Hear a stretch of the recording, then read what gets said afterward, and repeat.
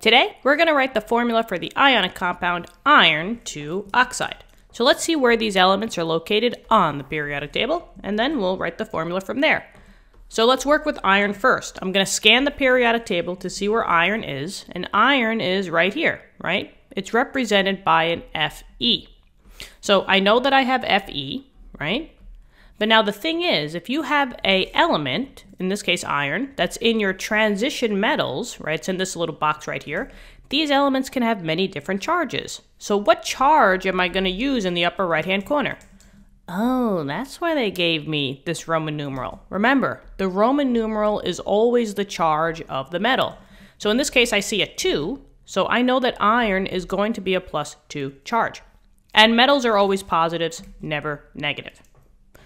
Next, I see oxide. It's an IDE ending, which means that it's probably going to be a nonmetal in the periodic table. And I find it, right? I look for the ox beginning, and oxygen is right here, right? It's represented by an O.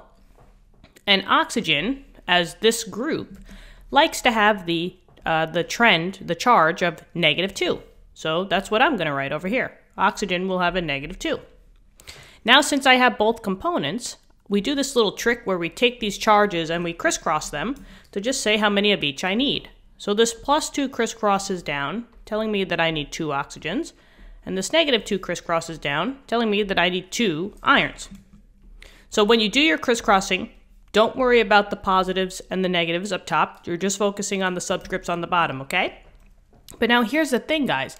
Ionic compounds and the formulas have to always be in the most simplified form, right? So if you see that you have the same number and it's greater than 1, you have to simplify this by division. So I can take both of these and divide by 2 to get a more simplified number. In this case, they both would be 1s. And that's the number that I'm going to use when I write my formula.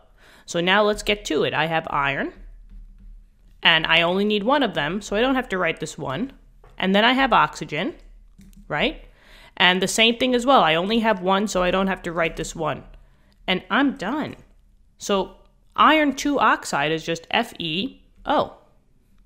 Thank you so much for viewing the video. I really hope this helped. Let me know in the comments. Subscribe to the channel if you want to help us out. That would help us out tremendously. And just get the word out there that this service exists on YouTube, and I thank you so much for that. Good luck in all your future tests and quizzes, and I'll see you in later lessons. Bye bye.